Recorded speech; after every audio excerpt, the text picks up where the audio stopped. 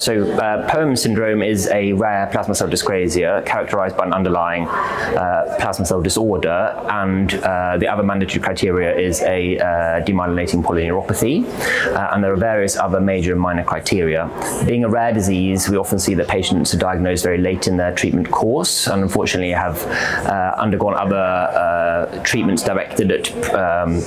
typically a condition called CIDP for peripheral neuropathy, and um, for this reason, patients often present, unfortunately, quite disabled at the time that the diagnosis of POEMS syndrome is made.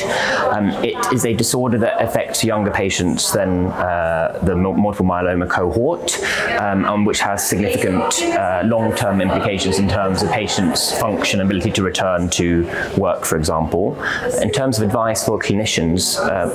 um, our group has published some uh, findings suggest that all patients who have a peripheral neuropathy, a demyelinating peripheral neuropathy should have immunofixation and VEGF testing at the diagnosis in order to try and expedite the diagnosis and facilitate timely treatment. Um, and uh, other recommendations I would make uh, would be to uh, involve a POEMS specialist early on. Um, although the treatment um,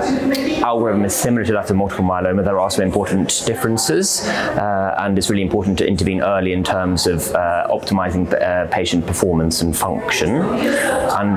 my final recommendation would be to be very vigilant in terms of the thrombotic risk in this patient group. We know that about a quarter of patients have thrombotic complications, including VTE and stroke. Uh, and so um, uh, at our institution, we use uh, anticoagulation with apixaban and an antiplatelet agent, usually clopidogrel, uh, early on in the uh, in the diagnosis until um,